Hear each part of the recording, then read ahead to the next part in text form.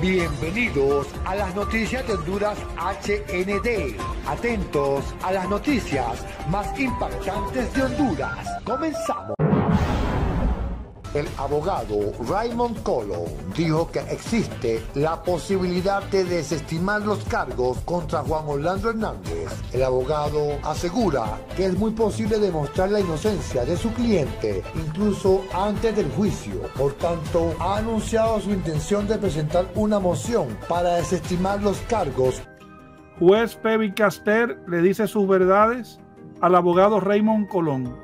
Cartel de Ana Hernández tiemblan y vemos ahí en la foto de portada a Juan Orlando Hernández, a Amílcar Hernández alias Cuatro Ruedas, David Chávez, el Cachiro, una persona cortándose la nariz por mentiroso que son los Hernández, que Raymond Colón había cometido un crimen en divulgar información clasificada, que el juez había ordenado a que se borrara del expediente la moción que él depositó. Tribunal de Distrito de los Estados Unidos, Distrito Sur de Nueva York, Estados Unidos de América, contra Juan Orlando Hernández. Orden. Castel, juez de distrito de los Estados Unidos. El acusado, Juan Orlando Hernández, es acusado de participar, lo que hemos dicho siempre nosotros, él está acusado de participar en una conspiración. Porque hay una falta de evidencia total y vamos a empujar los pedidos que hemos hecho y que lo pueden favorecer. Juegue el abogado Hernández ya en la Corte de Nueva York podría ser a favor o en contra, ya que se deben analizar también la información que él tiene, si podría colaborar o no, pero hay que ver la calidad de, información que él vierta ante las autoridades como parte de su proceso que busca reducir la condena, que buscaría reducir la condena del hoy expresidente Hernández, convertido en el primer presidente extraditado en el país. El video y el audio no se ha este, grabado bien o que en el informe que hacen por escrito que, está omitiendo cosas, declaraciones que exculpan al presidente.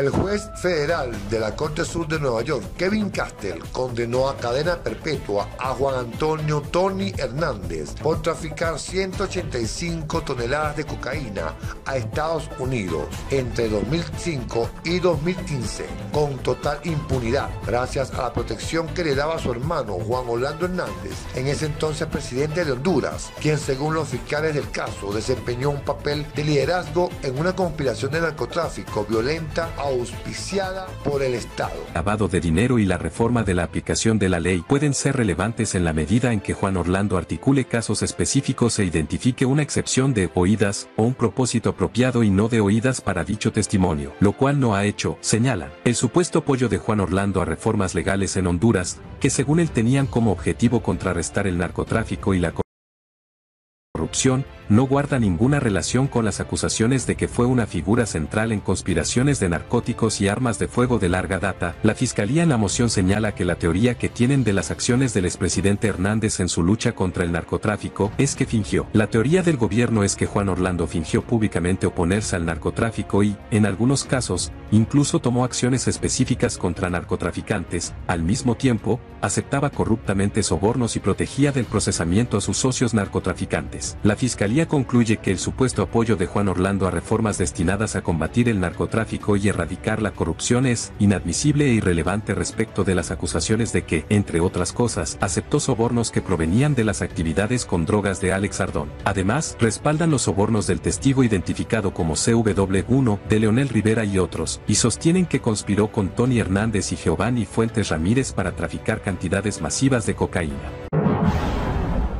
La estrategia de Washington significó la instalación en territorio hondureño de una especie de enclave en donde la DEA trabajaba tanto con los órganos hondureños, operadores de justicia, como actuaba clandestinamente infiltrando a esos mismos órganos. Hace más de una década, la DEA, el Departamento de Estado, el Comando Sur y el Sistema de Justicia de Estados Unidos diseñaron para Honduras una estrategia para recuperar el control sobre las rutas por donde circulaba la cocaína desde América del Sur sur hacia el norte. El, el juez Kevin Castell tuvo una eh, expresión eh, muy visceral en, el, en, lo que fue eh, la lectura de la sentencia de Tony Hernández al manifestar que ya en ese momento el nombre de Juan Orlando Hernández ya no era co-conspirador 4, no era CC4, sino que lo puso con nombre y apellido y le dice, usted junto a su hermano Juan Orlando Hernández hicieron para poder traer aquí demasiada droga y eso dañó a la gente en Estados Unidos y eso es por lo cual usted tiene que pagar. Entonces yo creo que esta situación, hay una situación que Tony Hernández no pudo actuar Honduras se había convertido en el principal cruce de caminos de la droga que se comercializaba y se consume actualmente en el territorio estadounidense. Estados Unidos había perdido el control de sectores importantes de esas rutas y los principales propietarios de las rutas se habían escapado de sus manos extremadamente empoderados en tan solo una década de actividades ilícitas. Hay mucha implicación. A él se le está mostrando como gran capo y mira, y esto es una estructura criminal que no es de una persona. No podemos suponer que Juan Orlando Hernández movió 500 toneladas, pero imagínate la estructura, o sea, las acusaciones y lo que viene después de esto es requerimiento de miles de personas, ¿verdad? Que tuvieron involucramiento. Autoridades, ¿verdad? Partiendo del fiscal general, el señor eh, Merrick Garland, eh, presentaron una acusación como el gobierno de los Estados Unidos.